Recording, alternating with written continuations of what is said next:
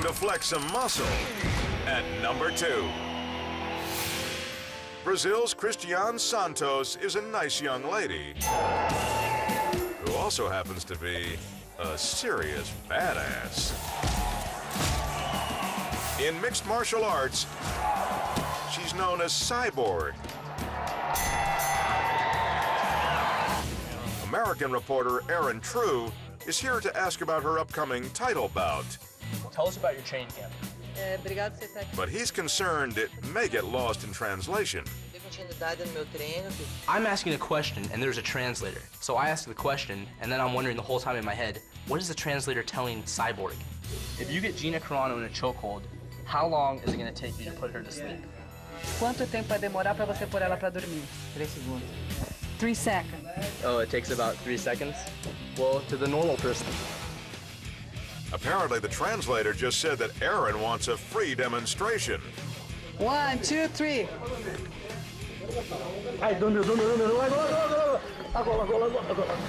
Oh my god, he's out. He's out. Everyone is stunned. Aaron's unconscious.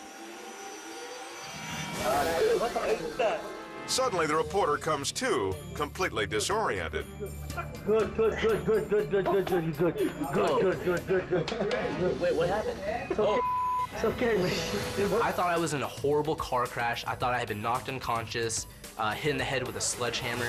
You're good, you're good. It was three seconds. I thought I was asleep for days. With a smile on her face, Cyborg locks Aaron in a chokehold, and it's lights out. One, two, three. I thought I was gonna die. I thought my left eye was gonna pop out of my head. Oh, Cris. Wonder what Aaron thinks about Cyborg's chances in the upcoming bout. I'm picking Cyborg Santos to win the fight on August 15th. Clearly, the Cub reporter is not looking for a rematch with this bad girl. You saw what happened. She took me out cold.